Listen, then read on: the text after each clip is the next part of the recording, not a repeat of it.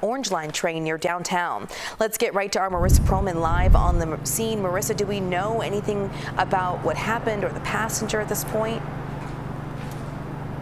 Well, we do know at this point that police have kind of wrapped up their investigation. The CTA is still on scene here. You can still see kind of the caution tape uh, where this uh, alleged stabbing happened early this morning. And we have just heard from Chicago police who say it was a 32 year old man who was on the orange line when two men pulled up to him and pulled out some sort of cutting instrument. This happened again just after 4:30 this morning. We now know the victim was stabbed in his left side. That's when the victim and the suspects got off the train here at Washington and Wells. The suspects ran off.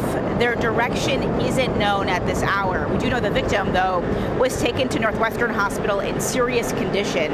Now, what's not clear is what exactly motivated this attack, whether the suspects and the victim seemingly know each other or whether this was random. Again, one man now in serious condition after he was attacked and stabbed by two men here in our Washington and Wells. Now, you may be able to hear some of the trains uh, rolling behind me, but we do know that this has caused some serious delays when it comes to uh, commuters trying to get to work early this morning on the CTA.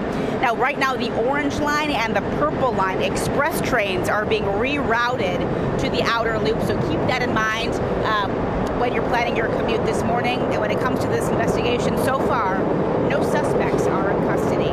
We're live in the loop. Marissa Perlman, CBS News, Chicago. All right, Marissa, thank you for those updates there from the scene where it happened.